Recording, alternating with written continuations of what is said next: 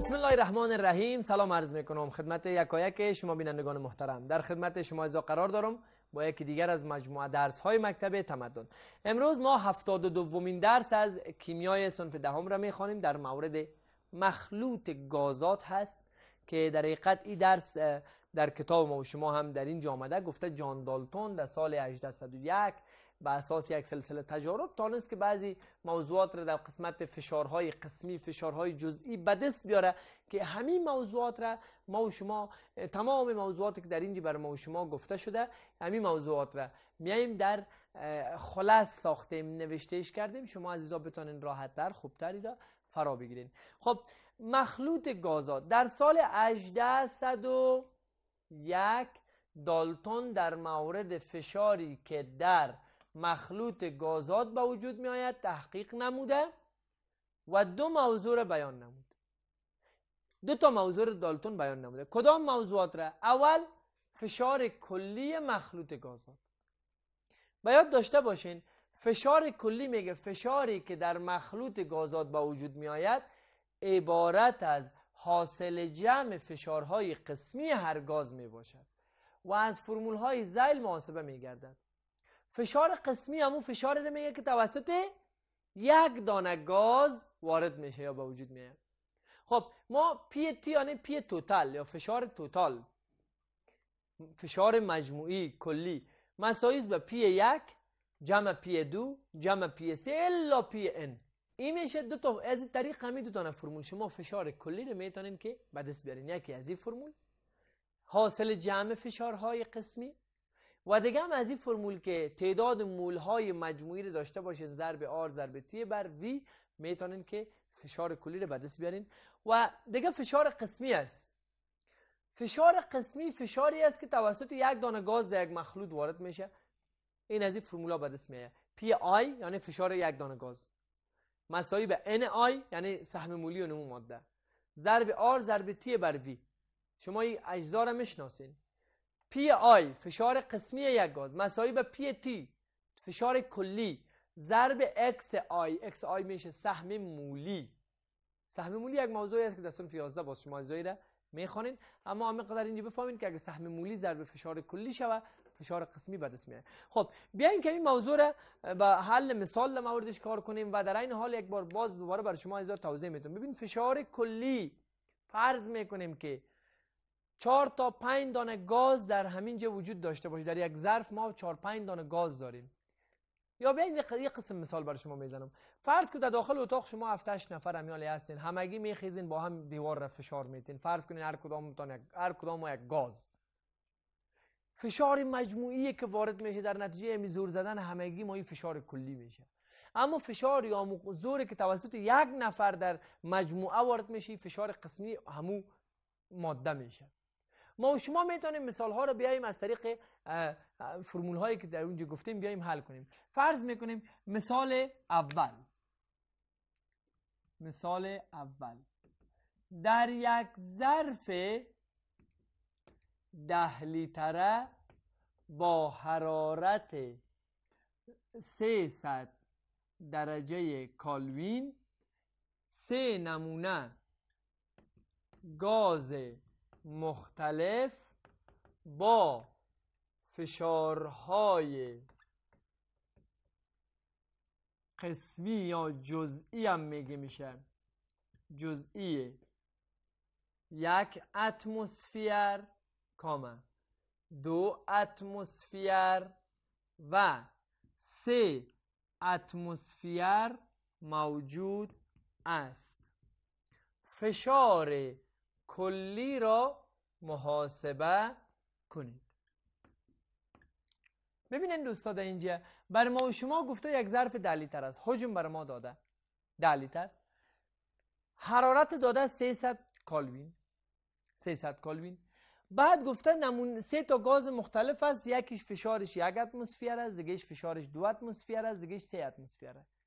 شما فشار کلی را به دست فشار کلی به دو تا فرمول. از دو دانه فرمول به دست می آمد یکی از فرمول ها بود P T مساوی به P یک جمع P دو جمع P سه جمع P سه. انمتر الا P n و یک فرمول دیگه بود P T مساوی به n T ضرب R ضرب T بر V شما از باید تصمیم گرفته بتانین که مناسب ترین فرمول برای از این مثال اول است یا دوم.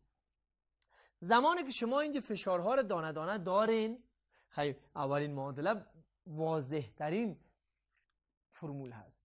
شما می‌تونین از طریق قزمی بیاین حلش کنین. اصلا به این ضرورت نیست اینجا. درست است که ما حجم داریم. درسته که ما حرارت داریم.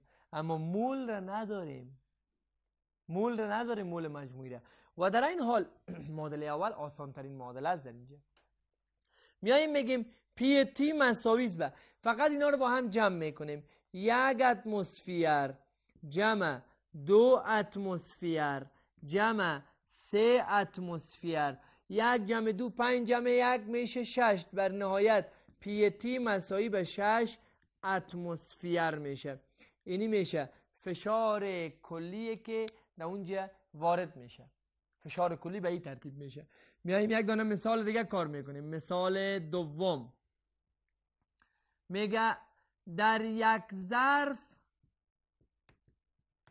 دو نمونه گاز ایدیال به صورت مخلوط موجود است.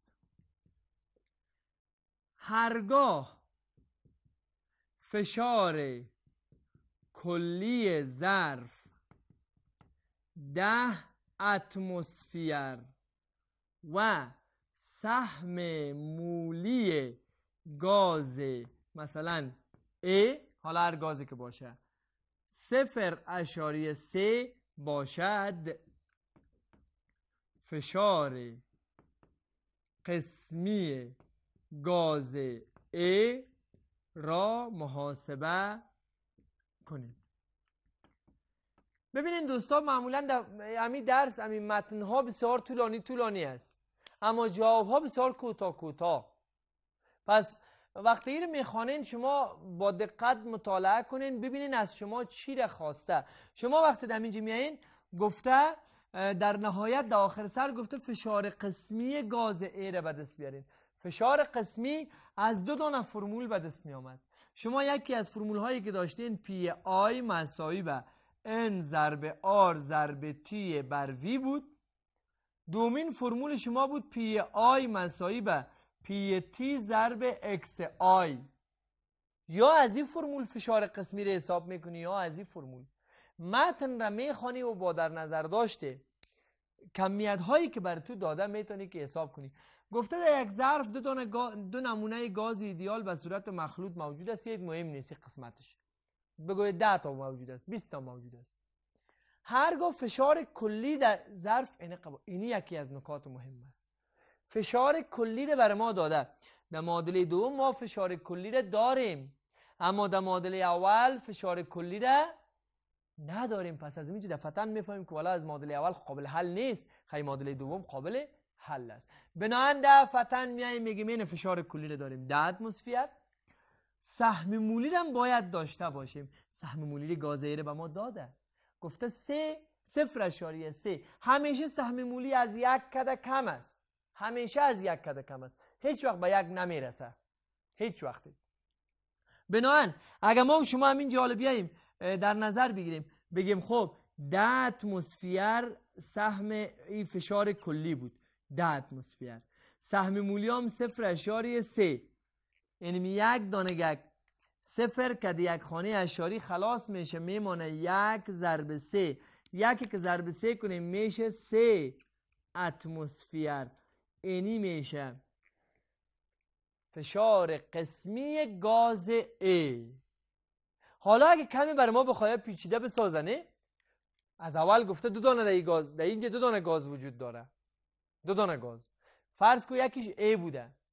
بعد در ما گفته که فشار قسمی گاز A ر نگفته. گفته گاز B ر پیدا کن.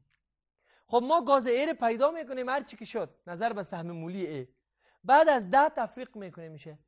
چون دو دانه گاز بوده دیگه. هر چی که میمانه مربوط گاز دوم میشه. متباقیش از ده که اگر ما سیر کم کنیم هفت. هفت اتمسفر فشار قسمی گاز بی میشه. هر دو جمع شده شده ده اتمسفر ما و شما به این ترتیب در کتاب مکتب ما اگه بیایم هم مثال داریم در موردش و این تصاویری که شما می‌بینین برای شما اگه توضیح بتونم فقط به خاطر عزیز گفته که در این ظرف به اندازه پی دو فشار وارد شده. در این ظرف هم به اندازه P یک فشار وارد شده. اگر هر دوی از این گازات را یک جای کنیم مخلوط کنیم باز فشار کلی میشه P یک جمع P دو. یعنی فشار ازی جمع فشار ازی که این موضوع فشار کلی رو بر ما نشان داده. در اینجا یک مثال داریم ما و شما. ما یک راهنمایی بر شما عزیزان می‌کنم. در کتاب کاملا حل شده و شما این می‌تونین که باز پیش خود کار کنین.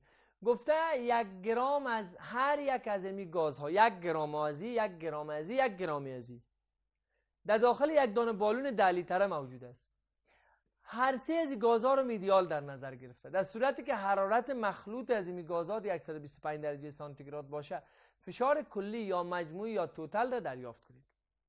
با واحد اتمسفر هم گفته پیداش کنید. خب شما عزیزا اولین کار که می‌کنین گاز هایدروژن گفته یک یک گرام از هر کدامش است. گرام هایش به مول تبدیل کنین.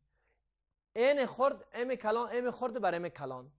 یک گرام گاز اکسیژن را هم اینجا به مول تبدیل کرده گرفته تقسیم وزن اتمیش در اینجا کرده در کتاب و یک تقسیم 16 عدد برآمده یک گرام گاز نایتروژن هم تقسیم به کتله اتمیش کرده به این ترتیب برآمده. اینجا آمده فشارهای قسمی رو محاسبه کرده. هایدروژن را اول حساب کرده 0.5 مول هایدروژن ما داشتیم. این را قیمتش مانده R را قیمت را مانده. T 125 درجه سانتیگراد بود به کالوین تبدیلش کرده. و تقسیم ده لیتر که در مثال گفت ده لیتر حجم است. اینه که محاسبه کردی عدد برآمده. فشار قسمی رو برای اکسیژن حساب کرده. فشار قسمی اکسیژن خب تعداد مول اکسیژن ضرب ثابت گازات ضرب درجه حرارت تقسیم ده. اینی عدد برآمده. بعد فشار قسمی رو برای نایتروژن محاسبه کرده. دانه دانه. و به این ترتیب تعداد مول نایتروژن ضرب ثابت گازات ضرب حرارت بر تقسیم بر لیتر یا حجم امی عدد برآمده. اینی فشارهای قسمی رو با هم جمع کرده. فشار کلی به دست آمده.